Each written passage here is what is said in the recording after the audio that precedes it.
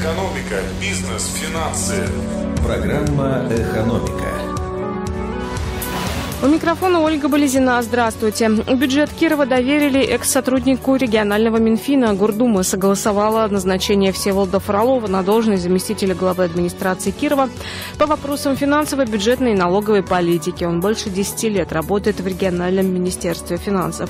Депутаты также одобрили еще одного зама. Анна Вершинина будет первым заместителем главы администрации, ответственным за кадровые и правовые вопросы и защиту информации.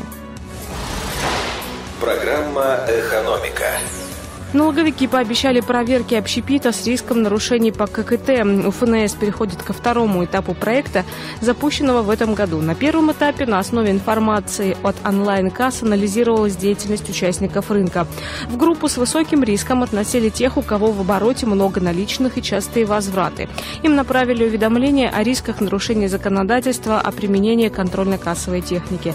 После этого многие пересмотрели принципы работы, количество высокорисковых плательщиков снизилась более чем в два раза. Теперь налоговики будут проводить проверки тех предпринимателей, которые на предупреждение не отреагировали. Экономика на 101 FM. 93% работодателей из-за жары не сокращают рабочий день. Это данные исследования портала ХХРУ.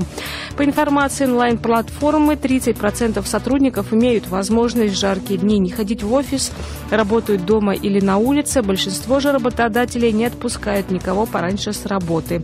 На вопрос о том, какие условия для борьбы с жарой обеспечены на рабочем месте, 60% респондентов рассказали о кондиционерах и вентиляторах, 28% о плотных шторах.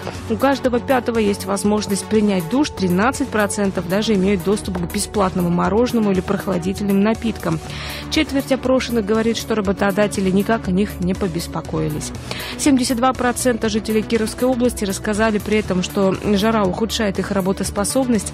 1% при такой погоде работают лучше. На остальных респондентах высокие температуры никак не влияют. Меньше всего зависит от погоды эффективность работников сферы безопасности и высшего менеджмента. «Экономика». В завершении о валютах. Доллар сегодня 72 рубля 72 копейки, курс евро 86 рублей 51 копейка. Ольга Болезина, новости экономики в Кирове.